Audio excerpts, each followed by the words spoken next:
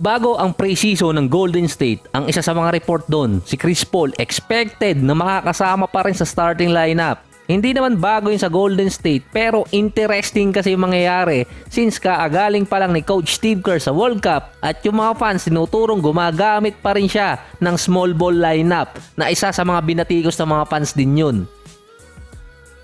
Magiging small ball lineup talaga yung Golden State kung ilalagay si CP3 sa starting lineup pero ang nakikita naman doon ng ibang analyst more on 3-point shooting at playmaking ang mangyayari. Magiging madali sa gaya ni Steph, Clay, isama na natin si Wiggins. Si CP3 din bukod sa kanyang playmaking, kilala din siya sa kanyang depensa at mid-range shot.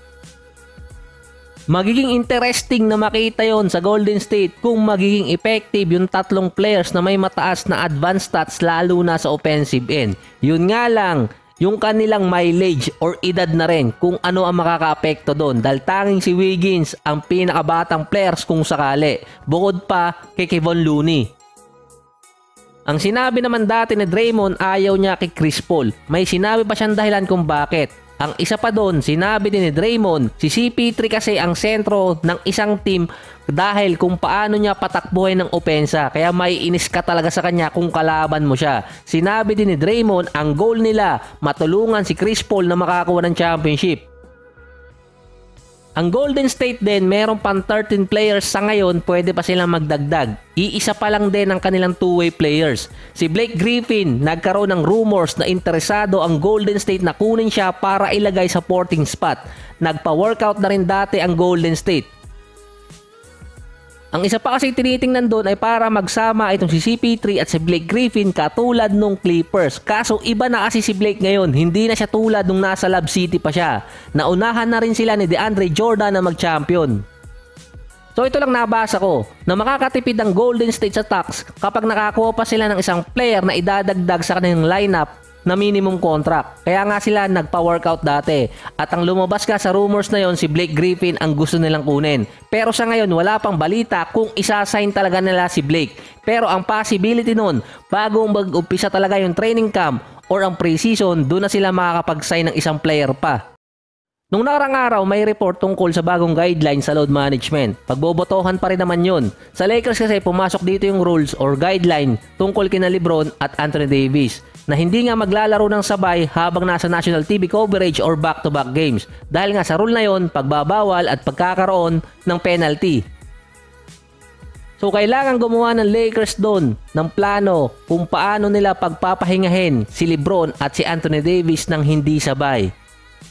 Nangyayari kasi kalimitan yun kapag ang isang team pasok na sa playoffs at meron na lang natitira bago dumating talaga yung postseason. Kalimitan din, dun kasi pinapahinga talaga yung players. So kailangan pa rin nilang iwasan yun. Sa bagong players participation policy, ito kasi yung guidelines na sinasabi, merong pre-approved rule doon na nilagay. Exempted sa penalty or sa rule na yon ang mga players na hindi maglaro sa national TV coverage or sa back-to-back games kung ang mga players na yon ay nasa edad ng 35 years old or may workload na 34,000 minutes or 1,000 regular season games sa kanilang karir. Kaya pasok sa exception ang mga gaya ni Lebron, Steph, Harden at iba pang mga players na nasa above 35 years old. Kailangan din nila ng promissory notes parang sa high school or sa elementary o written information na hindi sila makakalaro one week bago yung nakatakdang games. Ang team ang gagawa ng written explanation kung bakit hindi maglalaro yung player. So sinabi ko na dati nung nilabas tong balita na to, yung essence ng protect the player andun pa rin. Kaya nga sabi ko, laging may loophole. So base dyan, hindi lusot itong si Kawhi kung pagbabasihan yung exception. Dahil nga si Kawhi going 33 years old pa lang, going 20,000 minutes, pero yung isang policy na pwedeng sumulat yung team kung bakit pwedeng si Kawhi ay hindi maglaro ng back-to-back, ang ilalagay lang naman nila doon kaagaling pa lang sa injury or meron lang iniindang injury. Sa ngayon, ang NBA meron ng sick leave at vacation leave dahil meron talaga naman dating pinapayaga magpahinga yung mga players.